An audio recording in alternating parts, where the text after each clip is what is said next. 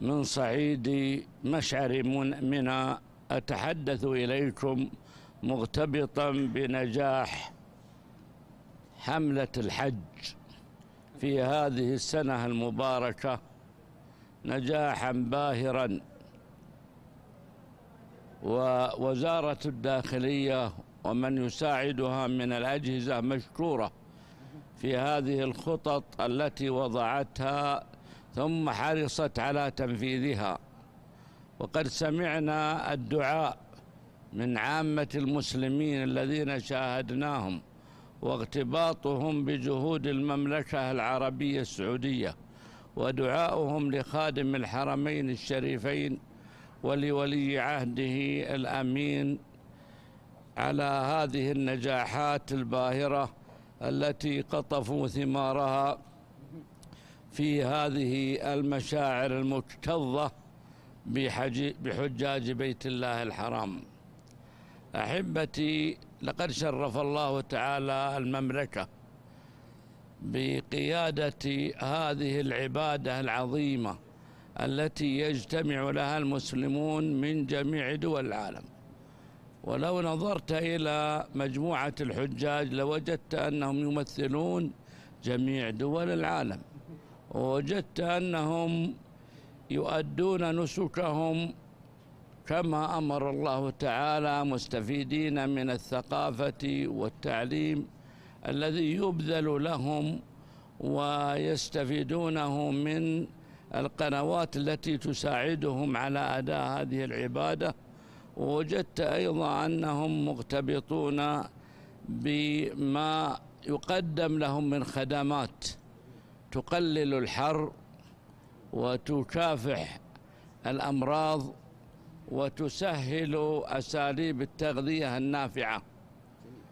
آه، يحرص على ذلك موظفون محتسبون من جميع جهات الحكومة تبذل جهلها لخدمة الحجاج.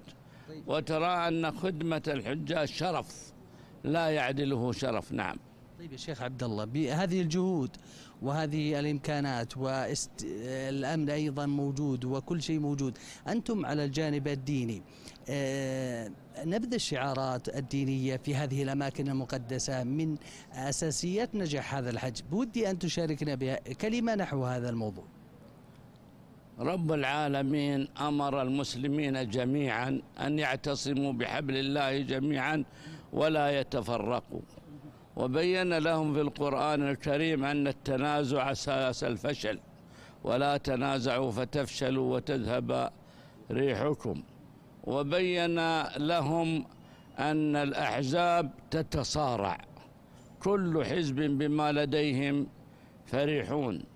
وجعل هذا البلد المبارك مكة المكرمة وحرم المدينة بلادا يسودها الأمن التام وتقديم الخدمات لمرتاديها فهم لا يفرقون بين جنسية ولا جنسية ولا يحاولون أبدا أن يخدشوا يعني أحاسيس الحجاج بأي كلمة نابية.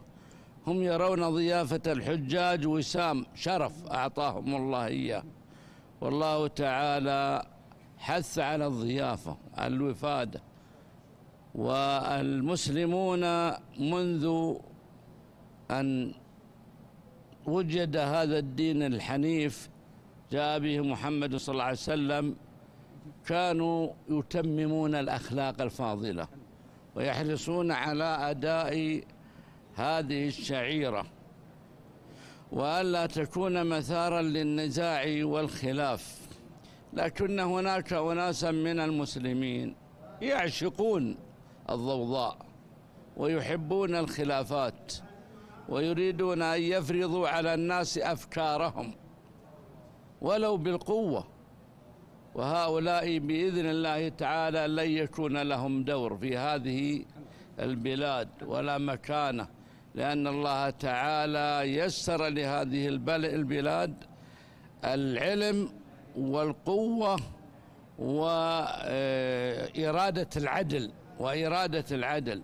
فالعدل الذي فرضه الله تعالى وجعل على إمام المسلمين أن يعمل به يمنع أن يؤذي بعض الحجاج بعضا بمثل هذه الشعارات. نعم. كلمة أخيرة يا شيخ عبد الله. الحمد لله على نجاح حملة الحج. والحمد لله على ما رأينا من انبساط وفرح إخواننا الذين لا يتيسر لهم أن يزوروا مكة إلا مرة في أعمارهم. فوجدنا منهم الغبطة والسرور والفرح والدعاء لولاة هذا الأمر. ولأيضا إخواننا الذين يقومون بخدمتهم. حفظهم الله وردهم إلى أهلهم سالمين. غانمين وأعان حكومة حاكم الحرمين الشريفين على مواصلة هذه الجهود المباركة وبارك لنا في ولاتنا ونفع بهم وحفظهم من كل مكروه. طيب شكرا لك شيخ عبد الله المطلق عضو هيئة كبار العلماء مستشار الديوان الملكي شكرا لك. وأنا أشكرك وأشكر إخوانك في الإخبارية وأرجو لكم مزيدا من العطاء. طولنا عليك وأعذرنا يا شيخ. جزاك الله خير بارك الله فيك حفظك الله.